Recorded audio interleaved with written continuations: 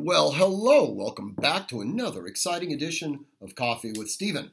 So, this week's blog is entitled Duncan v. Becerra Part 3. Um, many of you who've been following along know that Duncan v. Becerra is the case dealing with standard capacity magazines that was uh, a decision was handed down by Judge Benitez.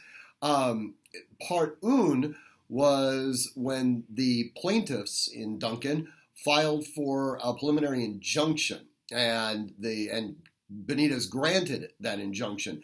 The state appealed that injunction, which is frankly fairly highly unusual. Um, and the Ninth Circuit Court of Appeals said, "You, why are you here? You know, let the case try out on its merits." Uh, part deux was the biggie. That was actually when Judge Benitez issued his summary judgment in the favor of the plaintiffs in Duncan v. Becerra, which culminated in us having the ability to have Freedom Week, where we all ran out and bought our thousands of standard capacity magazines. Part trois is now the appeal that the state had filed before the Ninth Circuit Court of Appeals. And last week we had the oral arguments in that appeal. Um, Major Taramina and I did a uh, drinks and cigars with a coffee and major presentation last week where we discussed the oral arguments and how they went. Um, and uh, many of you joined us for that. I thought it was uh, it was enlightening, and uh, you all got to see me get uh, somewhat polluted on uh, on video, which was always an exciting experience too. Um, in this particular blog, which you can see on our website under the blog tab, we go over the some of the finer points of the uh, of the oral arguments. The one thing that I do want to point out, and a lot of you know, I, I say this, and and I'm just as guilty. Okay, oral arguments oftentimes bear no relationship to the actual outcome of the case. Okay. Um, and and any lawyer will tell you this. You know, we look at the tea leaves and we immediately put out these disclaimers saying, "Look, we have seen thousands of times where oral arguments would suggest that one side is absolutely going to win, and then the ultimate decision comes out and it's nothing like what the oral arguments actually happened. So that's entirely possible here, um, but we still, because we're you know human creatures, we still want to be able to have some sort of predictive you know thing by watching oral arguments to see how they're going and everything else.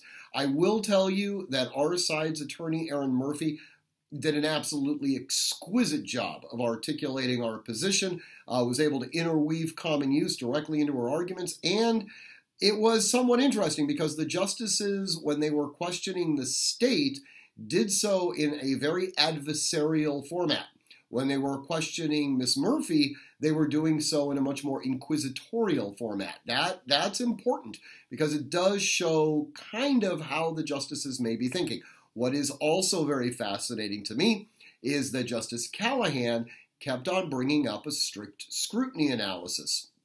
This is uh, this is going to be interesting because we've been waiting for the Supreme Court to come out with a determined, you know, a decision in New York Rifle and Pistol versus the City of New York, where we're hoping that the Supremes articulate a strict scrutiny analysis but it's entirely potential possible that the Ninth Circuit might actually beat the Supreme Court to uh, coming up with this. So, anyways, it's fascinating to watch. We should hopefully have a decision anywhere from 30 to 90 days from now.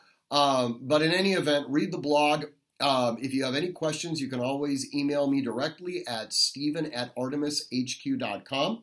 Um, one programming note every Tuesday, from 4 p.m. until 5 p.m. Pacific Standard Time, I am going live on a Zoom broadcast where it's literally called Office Hours with Stephen. And you can log in and, you know, look at my alcohol content being depleted, and I answer, you know, as best as I can any legal questions that you have.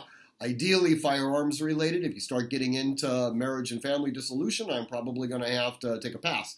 But in any event, Join us for that. As always, train constantly, train consistently, train repetitively, and train with purpose. And above all else, stay safe.